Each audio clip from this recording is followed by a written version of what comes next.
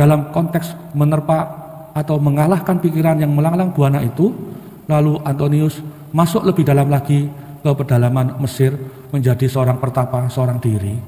Dalam renungan sepanjang hari ini, dua contoh dari hidup gereja kita menunjukkan kepada Anda untuk mengabdi Tuhan dengan lebih sungguh.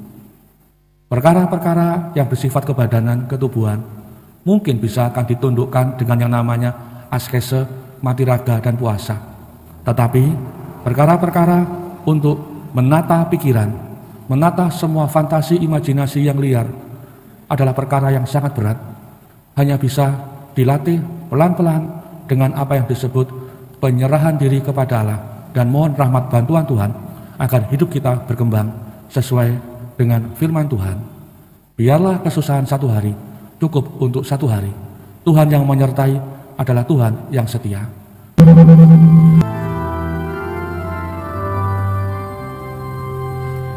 Di ufuk langit Surya sudah terbit Menghalau kabut Dan gelap gulita Dilambangkannya Kristus Tuhan kita Yang sulah bagi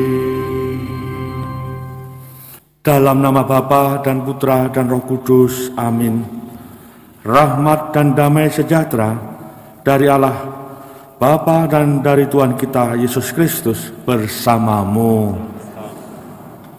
Bapak, Ibu, Saudara-saudari, hari ini kita merayakan peringatan wajib Santo Antonius. Antonius disebut sebagai perintis untuk hidup kerahiban atau hidup membiara sekitar abad ketiga tinggal atau berasal dari daerah Mesir sekarang. Saudara Bapak Ibu mari kita awali perayaan Ekaristi pada awal pekan ini dengan pernyataan tobat. Saudara-saudari Bapak Ibu, pada peringatan Santo Antonius Pertapa ini maka bolehlah kita ingat apa yang disampaikan pada bagian terakhir dari bacaan Injil. Anggur yang baru hendaknya disimpan dalam kantong yang baru pula. Pernyataan ini berhubungan dengan apa yang disebut pengamalan sabda Tuhan. Kita mendapat dua contoh pada pagi hari ini. Contoh yang pertama adalah kisah Saul yang ditolak dan contoh yang kedua adalah kisah dari Antonius Pertapa. Penolakan terhadap Saul terjadi karena ketika Saul menyebut dirinya, "Aku sudah melaksanakan sabda Tuhan," tapi Samuel tetap menuntutnya dengan berkata, "Iya, perintahnya adalah membinasakan semuanya. Tetapi mengapa engkau menyisakan barang rampasan hewan ternak yang paling bagus untuk dirimu sendiri. Saul berkelit dengan dalihnya, bukan aku, itu rakyatku. Tetapi Samuel mengatakan sekali lagi, tanggung jawabmu itu. Lalu dalam dalihnya Saul berkata, sebetulnya hewan-hewan yang bagus itu nanti akan aku jadikan hewan untuk korban bakaran persembahan kepada Allah. Dalam bantahan itu Lalu Samuel berkata sekali lagi, perintah Tuhan adalah tetap untuk selama-lamanya. Kamu tidak melaksanakan perintah itu karena dalih yang berasal dari dirimu. Aneka macam alasan yang muncul dari caramu untuk berkelit dari masalah. Nah, Saul ditolak. Contoh yang kedua, Santo Antonius Pertapa ini dikatakan bahwa sejak muda ia dididik dirawat dalam keluarga Kristiani yang baik dalam komunitas Kristen yang ada di Mesir. Dalam kisah Santo Antonius yang dituliskan dalam buku itu berkata begini, sejak masa mudanya tidak ada satu patah pun sabda Tuhan yang dibiarkan jatuh ke tanah. Dalam artian Antonius selalu mencoba untuk mengingat semua sabda Tuhan yang ia dengarkan.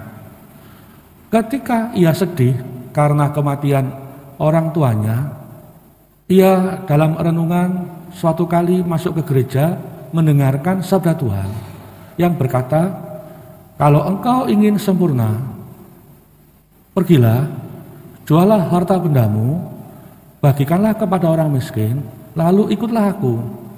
Maka dalam kisah Santo Antonius dikatakan pula Waktu itu ketika Antonius mendengar sabda Tuhan itu, segeralah ia keluar dari gereja melaksanakannya dengan tepat dan ia menjual seluruh warisan orang tuanya, tanah pertanian yang masih sangat produktif dan baik.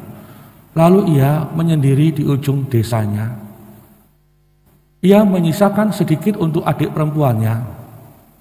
Dalam proses untuk mendengarkan atau mengamalkan sabda Tuhan ini, suatu kali ia datang ke gereja kembali dan mendengarkan sabda Tuhan yang lain.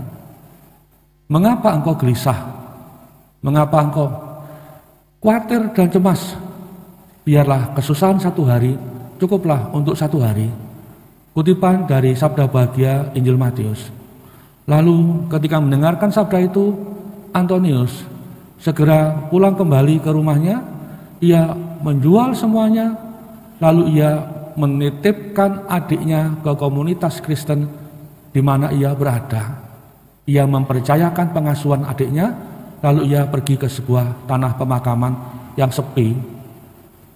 Dalam perjalanan rohaninya itu, ia menemukan bahwa perjuangan hidup rohani adalah perkara menyelesaikan masalah diri dan berdamai dengan semua yang ada dalam pikiran yang selalu berkecamuk, seseorang yang mencoba untuk mengikuti jalan Tuhan, yang mencoba untuk mengamalkan firman Tuhan, akan senantiasa ada dalam kesulitan kalau ia tidak selesai dengan dirinya.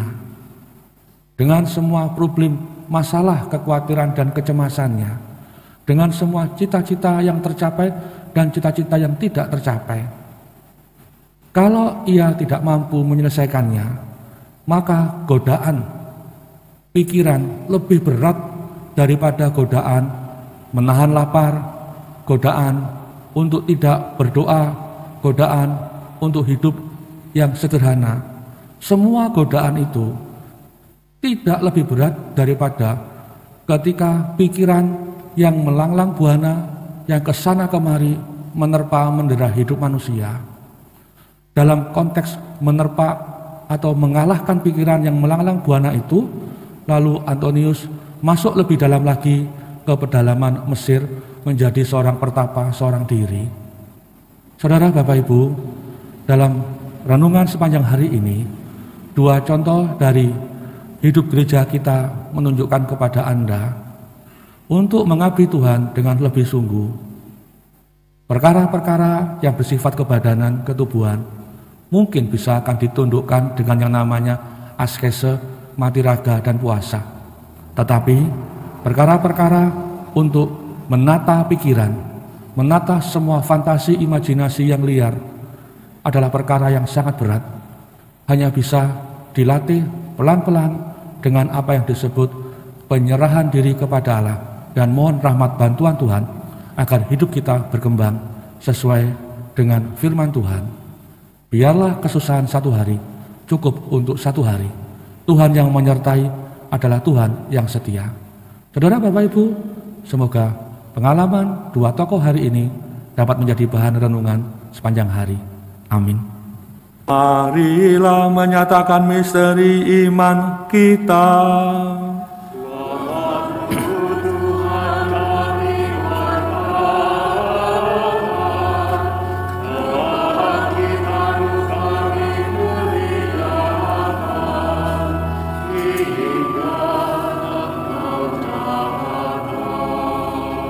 Jikalau engkau ingin sempurna, pergilah, jualah segala milikmu, berikanlah itu kepada orang-orang miskin dan ikutlah aku.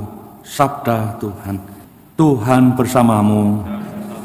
Saudara-saudari, semuanya dalam aktivitas sepanjang hari ini senantiasa ada dalam berkat dan penyertaan Allah yang Maha Kuasa, Bapa dan Putra dan Roh Kudus. Amin. Dengan ini, pranekaristi sudah selesai. Hiduplah dalam damai Tuhan.